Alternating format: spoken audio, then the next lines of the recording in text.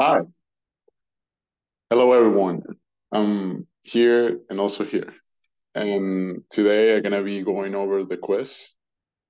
And the setup is going to be that I'm going to have the quiz in my tablet. It's right here. And I'm going to be solving in my tablet while I'm talking to you and reading from my computer over here. So yeah, let's start. Let me start sharing my screen. Yeah. Doing that right now. Uh, screen. Okay.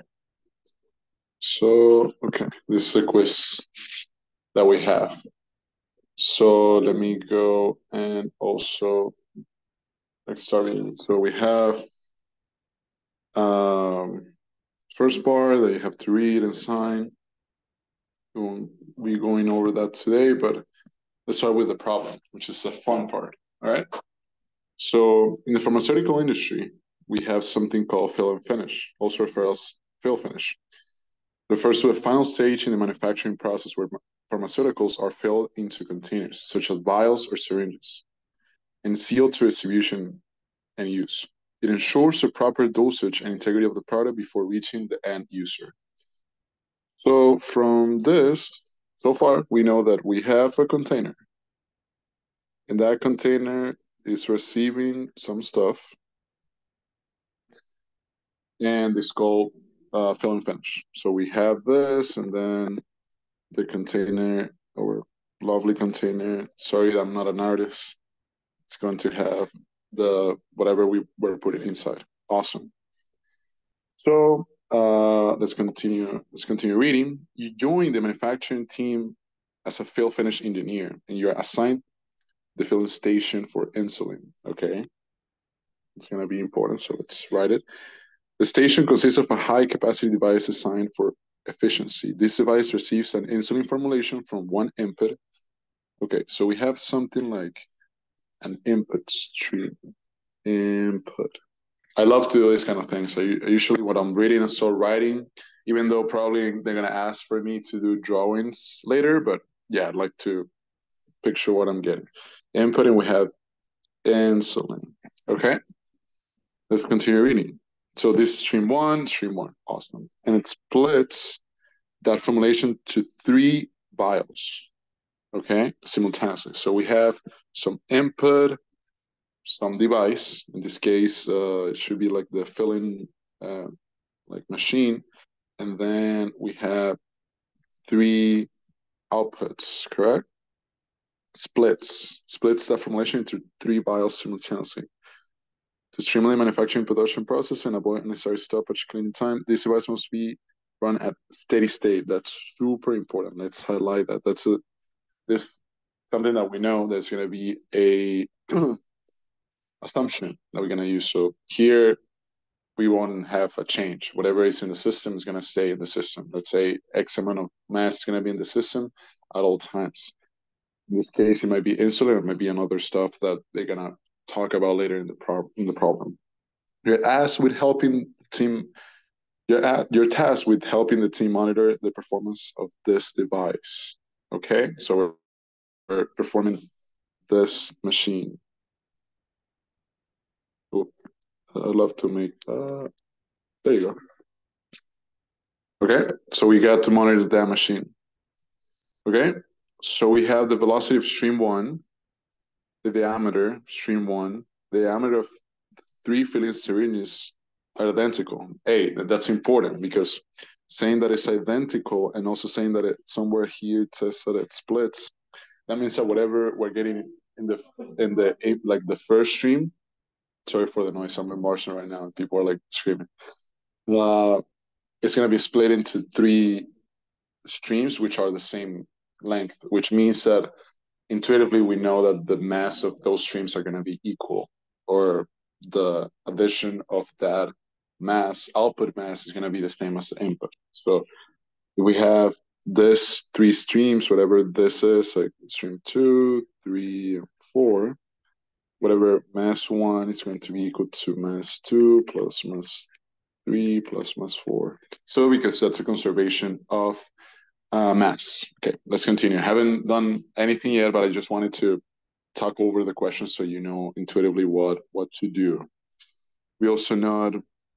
Oh, awesome! We know that the process happens relatively quickly, and the result, the insulin is not degraded. So there's not this right away is telling us no generation, no consumption. So yeah, we're not getting more or less insulin, and that's good. Great. And we're getting density. That, that's gonna play out later. I'm gonna pause here for a second, and I remind you everyone to make use of something that is in Canvas, which is I have here at the end, which is this equations. They're relatively simple. I'm pretty sure you can like memorize them all, but I would definitely, if you can, while you're doing your homework, have it by your side and be able to look at them and not mess something up because it's at least for me something that happens relatively easily. Let's go back to a problem. So draw the diagram. Okay. So let me let me draw the diagram. So we get our box. No, I didn't want to do that. Let's see now. Better. There you go. Okay, we have a box and we have an incoming input stream called stream one. And we have a lot of, we know a lot of stuff. So we know that the stream one, the velocity is 50 centimeters over second. We know that right off the bat. We also know the diameter. So whatever this tube is, and that's going to be helpful for the, the area that we're going to calculate later on. So write that down. Diameter one is equal to two millimeters. Okay. Then uh-huh. the diameter of the three filling syringes is identical, equal to five millimeters. Okay. So for this, this, and this, which are streams two, three, and four, we know that they, their diameter is five. Let's see, diameter two, diameter three, diameter four, five millimeters, five millimeters, five millimeters. Awesome. Let's see what else we have. Another greater or consume. Awesome. And this information is constant. Okay. And let me just make sure we have something that I forgot doing. I forgot to do here. I'm gonna erase this because it could be thought that I'm talking that that's the boundary, but it's not. It's that we we have to create a boundary. So this or boundary, we should like note it. Boundary. Okay. And the surrounding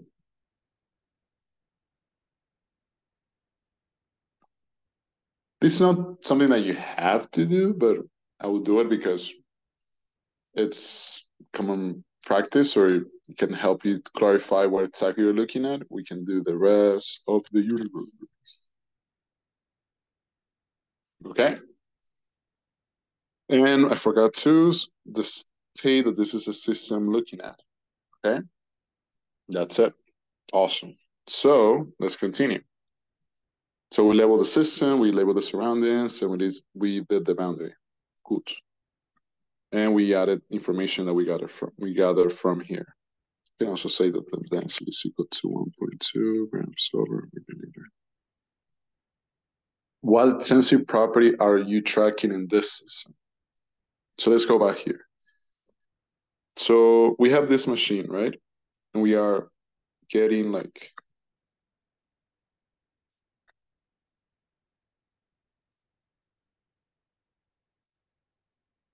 Okay, this machine is like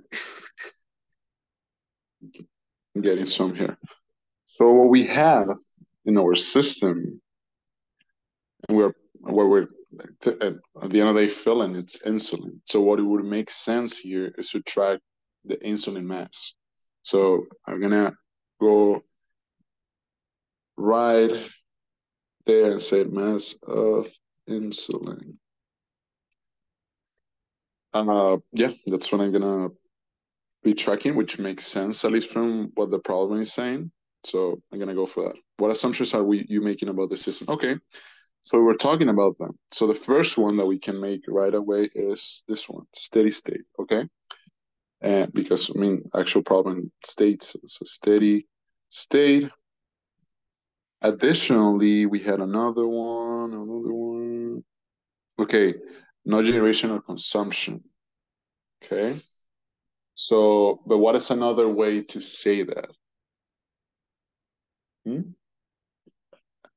Could be also no reaction, but but no generation or consumption is okay because it's actually like we can it's, it's stating on the problem. So no generation, narration, or con here consumption. I don't want to write it incorrectly. I sometimes do that a lot in my notes when I'm doing it quickly. So, okay. So that based on the problem, that's two things that we can say. We could also talk about what I was talking here about the conservation of mass, which is like uh, we know that the mass coming in in the stream one is going to be equal to the mass coming out from stream two stream three and stream four. That's not something that you that you have to say necessarily, but I always like to state that, and we know this. We know this based on the fact that D2 is equal to D3 equal to D4, the diameters. That's essentially what we know it. And another thing that we can say from this is that M2 is equal to M3, which is equal to M4, or are relatively similar. We're essentially saying that the mass that's going out is the same in each stream and that their addition is going to be equal to the input. Awesome. So now let's go for question four. Circle the answer in each column that best describes the system, okay? So let's go, open or close. So we know that a closed system is a system that doesn't have any exchange. In this case, we do have an exchange where getting some output and getting some input. So therefore, we know for a fact that it's going to be open, right? Then we have state. Oh, this when I was creating this, you pretty sure you you saw it this way. So each of them is a column. When I got the the PDF, I mean the this PDF I I set up. My bad. There shouldn't be any differences from now on. Uh, so we know one of the assumptions, and also stated here, that the the actual system is a steady state. So we can definitely say that. Something from the above that you that we realize is that a time is not stated and it's kind of like I was talking to some teams during the quiz about like, oh yeah, what about if we just assume the time is the time filling up the bottle? I mean, that's something you can think about, but based on the constraints of the problem, there's no time stated anywhere. So, as I say always, try to do it as simple as possible with a question there the, the problem is asking you and try to restrain yourself to information you're given. If you're asked to get more information or to add more assumptions or to do that, do so. But by thinking that way, you can definitely go for a different complete route and lose some points. So based on the fact that we are not, we don't have a definite time, it's continuous, right?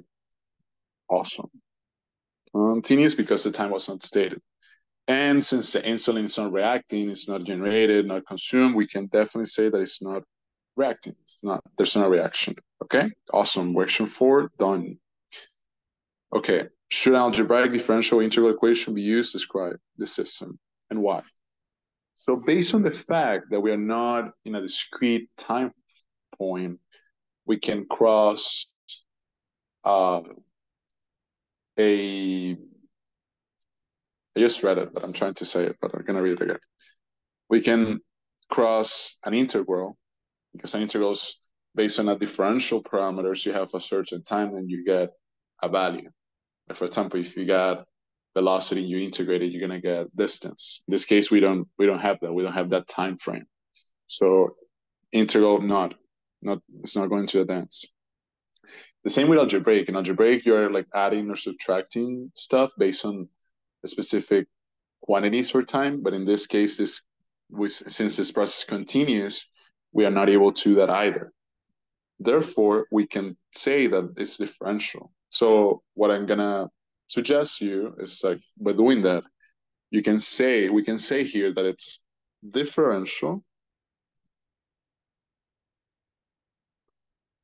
and or because or due to the fact, whatever you would like to say, the problem or the time, I'm sorry, the time is not stated in the problem. Stated or specified. Great. Are the following conserved in the system? So given that there's not reaction, that like insulin is not being like consumed, it's not disappearing like into another product. And the fact that we know the conservation of mass, like everything going in is going out, we can safely say that no. That, I mean, we can safely say that yes, the mass of insulin is conserved because there's not generation or consumption of insulin. So yes, it's conserved. Yes, conserved. Conserved. Uh, said why? Uh, we said that there's not generation. There's not generation or consumption.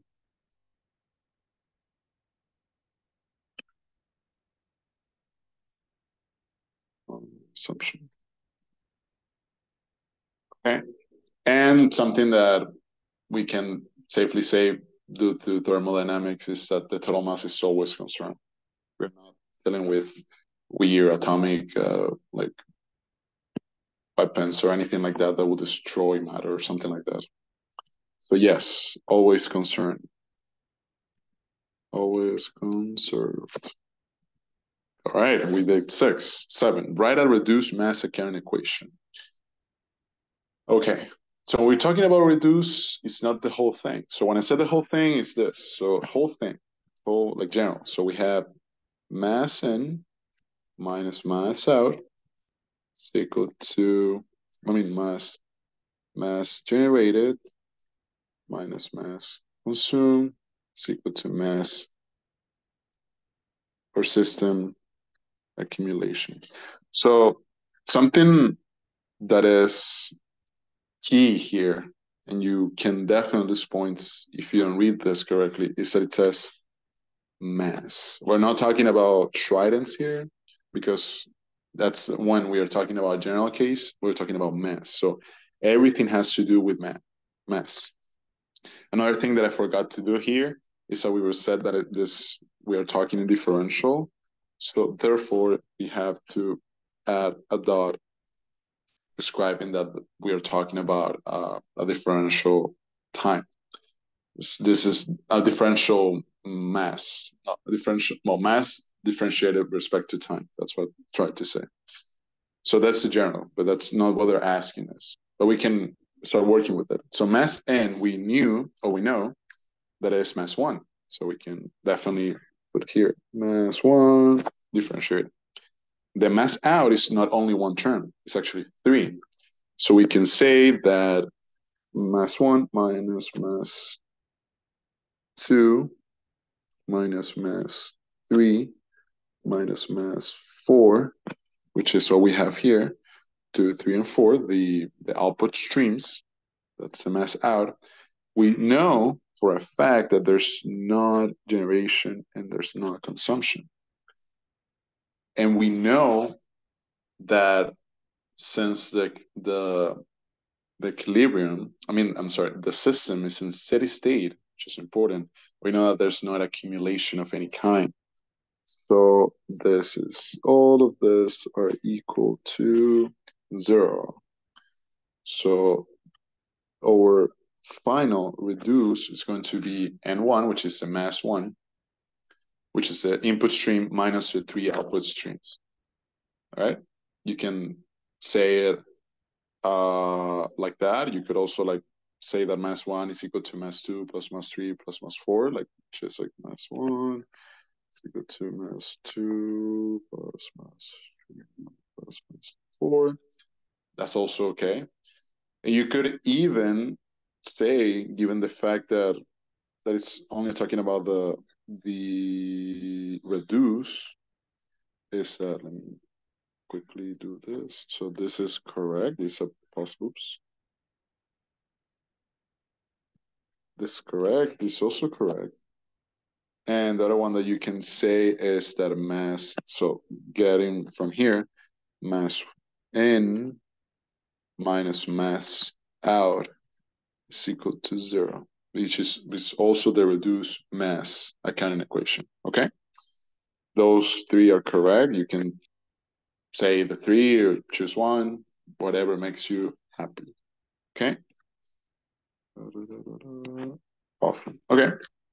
Seven done. Let's go for eight. So calculate the volumetric flow rate. I don't remember how to calculate it, but thankfully we have a formula sheet right here. So we know, huh, right here, we know volumetric flow rate. What's that? That's the volume over time. Now volume over time is, we can think of it as the velocity times the area. So the velocity that's going through the like the velocity the liquid is going, in this case the insulin, times the area it's going through. So we know that the we actually have the velocity v1 for the input stream, and we also know the area. Or we can calculate the area based on the diameter. Okay, so we're gonna use this. We could also use uh, if we had the mass flow rate, we could also use the mass flow rate divided by the density, but we don't have that. So let me write it here quickly. So that would be eight. So for the volumetric flow rate, we need velocity, velocity one times the area one. And we know that velocity one is 50 centimeters and the diameter is two millimeters. So for the velocity one, it's going to be, let me put it here, five zero? Yeah, five, five zero. Five zero centimeters over second times, oh, also another important thing. A millimeter is not the same as a centimeter. So if you do your math and the units are not correct, you might not get the right answer. So we know that uh, 2 millimeters is equal to 0 0.2 centimeters. So that will be 0 0.2 centimeters. The same with this all. This will be equal to 0 0.5 centimeters, just for to know to state that, okay? So we're gonna multiply by the area. What's the area here? We're talking about stream. So we're talking about cylinders. So a cylinder the cross-sectional area is a circle. So what's area of a circle? Pi r squared. But we have the diameter, a problem. We can do the following. So pi diameter square divided by 2 square. So essentially is pi diameter divided by 4, diameter 1. And we know that the diameter 1 is 0 0.2 centimeters was that? Yeah, 0 0.2 centimeters. Okay. Here. Okay. Let me get my handy calculator.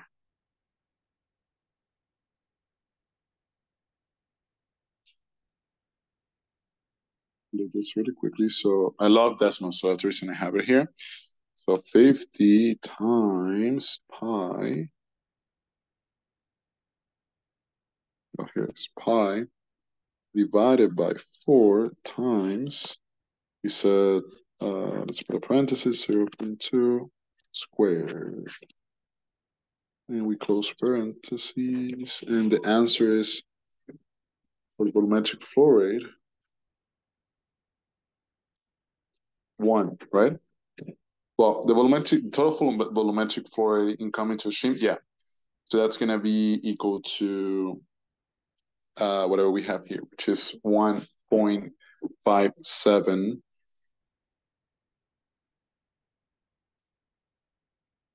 sig fig. Usually like having two decimals is a good practice. And what are the units? So we have centimeter square here, and then we have one centimeter. So centimeters cubed, uh, centimeters cubed divided by seconds. Okay. But I think that's not the final answer. Let me check. Why? In terms of numerical answer, that's the final answer, but we are talking about millimeters over seconds. You have to know that centimeter cubed, it's equal to milliliter. It's equal to milliliter. Sorry, not milli, whatever I said before. That's wrong. Okay. And final, final, final, final answer. Oh, we can do that here. It's going to be, can add that uh, factor here. So cent one cubic centimeter, it's equal to one uh, milliliter. So we can cancel out the centimeters. So we get that the volume, the incoming volume is 1.57 milliliters over second. That's our final answer. Let's box it. Awesome. Don't forget to box your numerical, at least your numerical answers. The rest, if it's words or anything else, it's okay. But if you're talking about an numerical answer, box it because that's, yeah, you're gonna get points off if you don't box your final answer. Okay. All right, we're almost ready. We all, I think the last question is 11, so we're killing it here. Okay, nine, calculate the total mass flow rate. Okay, in each of the three output streams. So since we know that the mat the like the output mass flow rate is um, like a third of the input, we can calculate the mass flow rate of the input, like the stream that is coming coming in. So, like we have. Oh, I didn't know I could do that. No, that wasn't that good. Oh well, we can. So we can calculate the. We know that there's a relationship based on the the conservation equations right here. That the mass coming in is equal to the mass coming out. So m1 is equal to m2, m3, m4, and we know they're the same. So we can do is calculate the mass flow rate of m1, and then divide that by three, and therefore we can get the output of one stream. And since all streams are the same, you can by that you can calculate, uh, you can state your final answer of whatever cent whatever grams over seconds we get for your final answer. What I want to point out here is to uh, you can do is before like starting doing calculations, start thinking about okay, how can I approach this? What can I do? That kind of thing. Okay.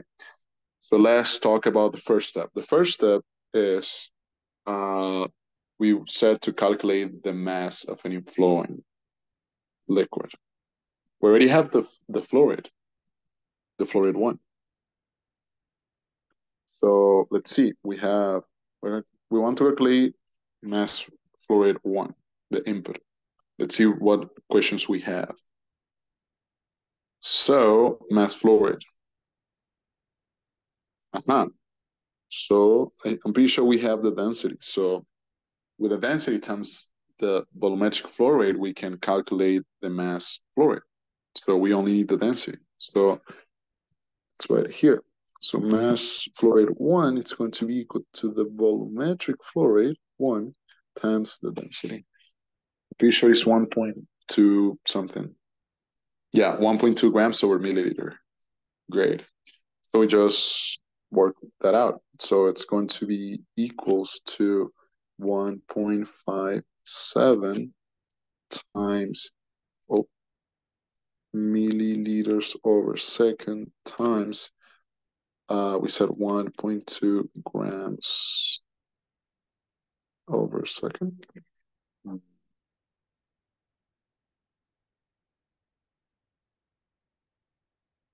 Oh, over milliliters. I was like, what? That's the density. It's not in time. I'm sorry. Also, what I'm trying to say is that it's okay if you commit a mistake, only try to double check. And if something doesn't feel right, try to get to the bottom of it. So we get this and the final answer for the input. Remember, it's not our final answer, answer, answer, but it's the construction. It's going to be 1.57, one, oops. Let me erase that. 1.57 times 1.2. So we get that the inflowing mass is 1.88 uh oops. 88 uh grams. Something that i that i we should do or you you'll try to do or you could do just to be more precise is to try if you can have something like i have here or you, in your calculator use this number like whatever this is like not in, like the entire decimal that's what i'm trying to say. Because if you compare the answer that i'm getting both instances we can see that oh yeah we get the same. Okay well 1.88 I think the answer key is a little different, but we're gonna go from 1.88. Shouldn't be that big of a deal. Okay. And we have 1.88 grams over seconds. Okay. So we know that. The second thing that I was talking about is that M1 is equal to M2 plus M 3 plus M4. Okay, so this since all these are equal, or we can say that M out is equal to M1, which is equal to M. No, no, M2, uh, M3, and M4. We can say that M1, like the input stream, is going to be equal to 3 times um, out. Okay? And then we can divide um, input by 3. I'm to get, don't forget the points, m out, which is what we're trying to look for here. So m out will be whatever we got divided by 3. Okay, let me get my calculator again.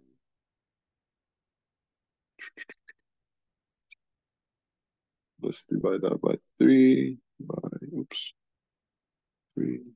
Let's see what we get here. Same thing, I suppose. Yeah. 0 0.628. So 0 0.63. Okay. So if we we can say that m out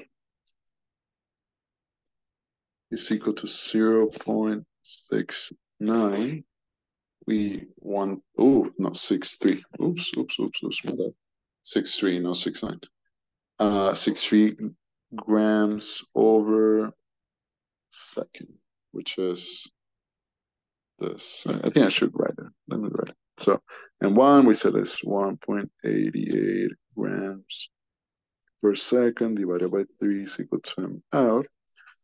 What I'm trying to do here and showcase is that I know that there's math that you can do in your, in your head and just you feel like you can actually put the answer but uh, I would advise you to add as much detail as you can.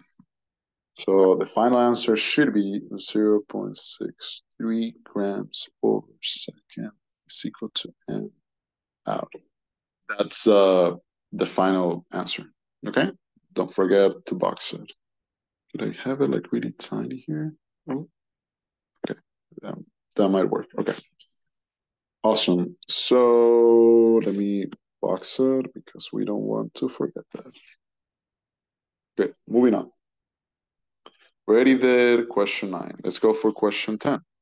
What does it say?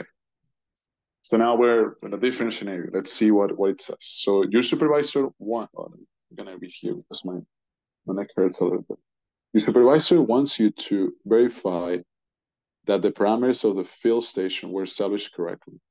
More specifically, she wants you to verify that the velocity that the velocity if the input stream is adequate, not too fast or not too slow. So we want to know if it's adequate or not. Okay, you collect additional information from the technicians working on the station. Something that I don't have here that you did have in your quiz, it's that uh, normally the like the motion of the vial it's like one second. So let's say well I can definitely do it here. Let's say you're in a production line. Okay then you have like a set of three vials over here. Then you you have your machine that it's like letting some insulin in the vials. And then these guys move forward to here when they are like already filled. And they like a new set of vials goes here again and they get filled. So this process right here is one second. So vial movement just one second. I've, I've, that's something that trust me we, we're gonna need it in the future but let's keep going. Okay. The mass fraction of insulin in the output stream is 0.2 okay so whatever the mass is multiply by 20 percent and that's we're gonna get the the final mass. So the final volume of each vial is 5 milliliters. Okay that's important. That's the final volume. So uh, volume the the mass fraction of insulin, the desired concentration of insulin is this one. Okay. On. And calculate the mass flow rate of insulin. Okay. So in that case, we're talking about the output stream. Okay, so we can go M out, which already calculated, which is 0 0.63, I think. Yep. Well, So so out is equal to 0 0.63 grams over second. But M insulin, or M out insulin, better said, out insulin is going to be equal to that number, whatever the mass was, times the mass fraction. So 20% of that. So if we go here, can do really quickly. Let's see. 0 0.628 times 0 0.2. Get 0 0.126. Uh, okay. That's gonna we're gonna stay here. So the mass out of insulin is 0.126 grams over second. That's what we're, we're asked. Yeah, that's what we asked exactly, which is the mass output of insulin. Okay, so we're gonna box this numerical answer. Great. Let's keep going. Let's keep going. Okay, so final one, final question. Hmm. How much time would it take to fill up one vial? To achieve the desired insulin concentration, you have to use concentration, the vial num, the vial volume, maybe the mass going out. Okay. Based on that information, we recommend increasing, decreasing, or maintaining the input velocity.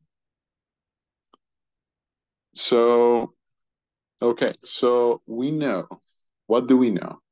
So we know that mass of the vial should be the the concentration, at least the insulin, like the, the amount of insulin in that vial, it's going to be the concentration that we have, which I think is yeah two milligrams per milliliter, times the volume. That's how that's we're gonna get mass. So let's start with that. So the mass of the vial or the mass of insulin in the vial is going to be equal to five milliliters times two milligrams over milliliters. So here we're gonna get, we don't need the calculator for this, it's gonna be 10 milligrams. But uh, based on the concentrations, well, not concentration, but in other parameters like the mass out, we want to get this into grams. So one milligram, it's like uh, an a, thousand, a thousandths of a gram. So what I know is that like 10 grams is 0 0.01 grams. So I think it's 10 divided by a thousand. Yeah, okay. So we know that one milligram, well, one gram is equal to a thousand milli, yeah, milli, which is a thousand milligrams.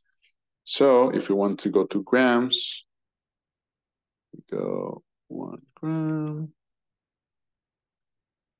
No, oops. One gram, there you go. Thousand milligrams. So we get 0 0.01, 0 0.01. Well, you can do that with this with your head, but usually something that happens to me quite a bit is that I move one, uh, like the period one weight of the other, and I, that messes up the entire answer. So if you're like me, you can double check, okay? Awesome. So I already know the mass. And we know the definition of mass flow rate is it's going to be equal to the mass divided by the time, right? So if we already know the mass, which is 0 0.02 grams, and we already know the mass flow rate, which is 0 0.12, wow, okay. We can calculate the time, so let's do that. So time, well, so the time here is going to be time is equal to mass divided by the flow rate. Okay. So from here, we know time to fill is going to be equal to the mass out of insulin. Like the desired, like the desired amount of insulin that we have to, the one in the vial, hmm. divided by the I'm sorry, the the the insulin that we calculated here, which is we call it M vial of insulin divided by the mass flow rate out that we calculated previously of insulin. That's how I call it. Insulin. And it's going to be equal to 0 0.01 grams divided by 0 0.12. Oops, oops, oops, oops, oops. Uh-oh. There you go. Uh, 0 0.126 grams over seconds. Yes. Seconds. So that's really quick. That's 0 0.01 divided by 0 0.126. Well, it's a tiny, tiny, tiny number. Tiny number.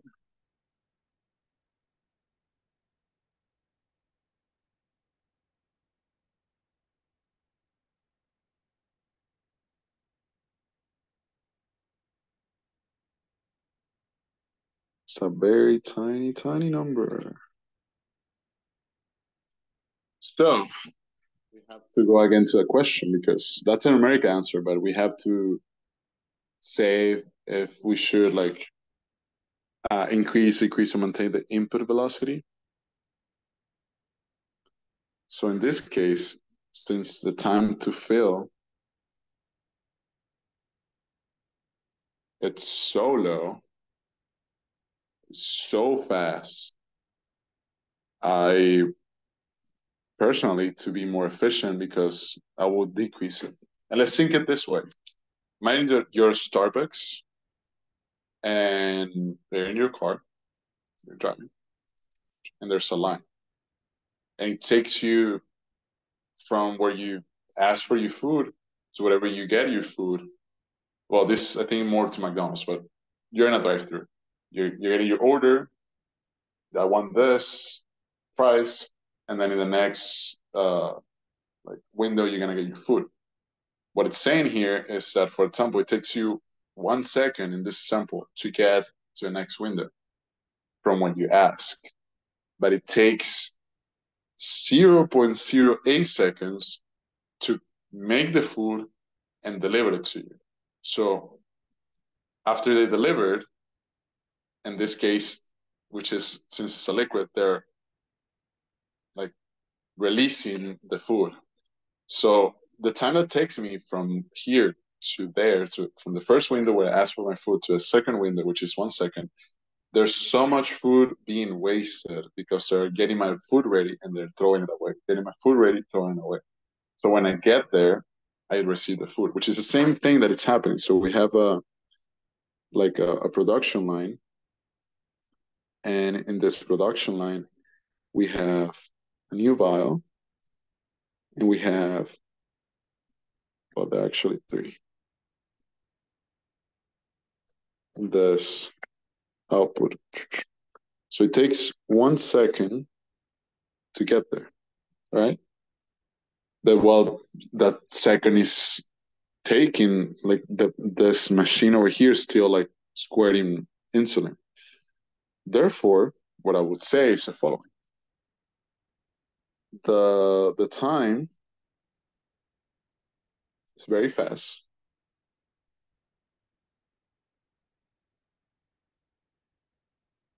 and a lot of material, aka insulin, is wasted. I would decrease the speed quite a bit.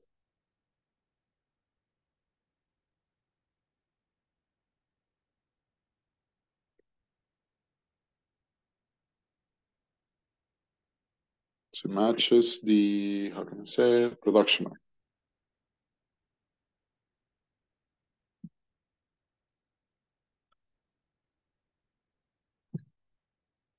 Well, that's it. We just did quiz one. Oh, don't forget, I forgot. Let's put Juan Martinez. That's my name. And signature. That's my signature, so you guys can see it. Yeah, you can't forget to do it to do that. This right here, like, wouldn't be graded, but I'm pretty sure you should not have a problem if you, like me, you start like writing somewhere before to get your thoughts and everything. So yeah, that's that's Quiz Watson, everybody. Thank you so much for watching and see you next quiz. Bye.